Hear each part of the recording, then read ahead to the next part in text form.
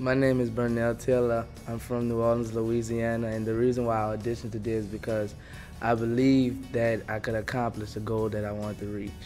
When I first got the golden ticket, I was speechless because, I mean, how many people could make Mariah Carey cry? One.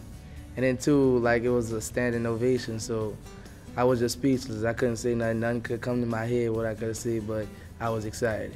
I believe life inspired me, and you know, just the people that surround yourself around me, like my grandparents, my mother, and my little sister, because that's what I consider family. You know, the people that was there for me. You could put me in a crowd with a bunch of singers, and I will stand out. So, I guess me standing out mean I'm unique. So that make me unique, standing out. My favorite past idol contestant would have to be either Joshua or Jessica. I like Joshua and Jessica because every performance was consistent. Like I wasn't really concerned watching nobody else performance, but when theirs came on, I turned the surround sound on. I need to hear all the sound effects. I wanted to hear everything because their performance was so consistent every time, every week.